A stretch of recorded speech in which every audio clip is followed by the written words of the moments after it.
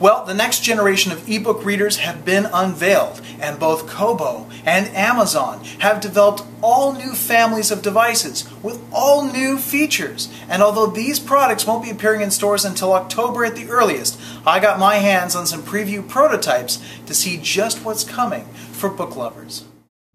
This is the Kobo Mini. It has a 5 inch screen, making it a very small device that displays very small books.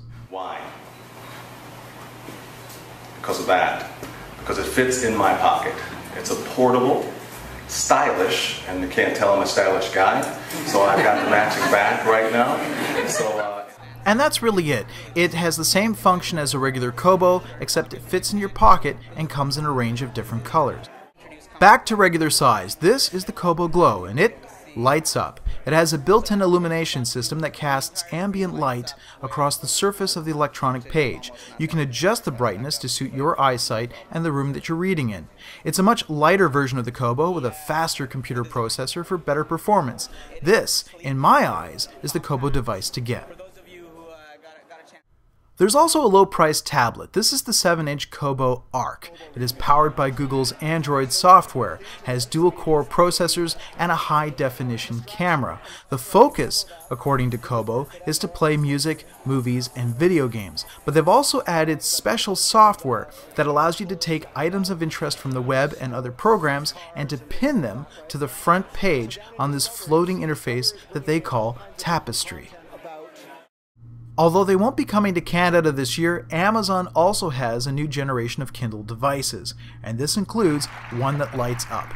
The Kindle Paperwhite has an illuminated screen, and as you can see the lighting is quite even across the page, while the text and illustrations retain a crisp contrast. This is because of a special layer that reflects ambient light down on to the electronic page. There's also some neat tweaks, such as the ability to calculate your reading speed and tell you just how much time is left to finish that book. Now, while Kobo decided to go very small, we decided to go big.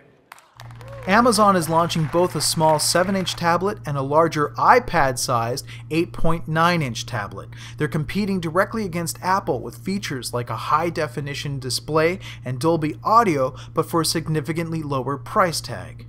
These are Android tablets, but you can't tell because Amazon has done an impressive job of customizing the experience with special apps for Facebook, Skype, and as you can see here, email.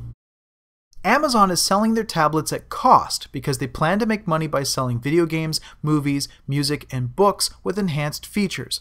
Hopefully, this will cause other tablet makers to lower their prices too.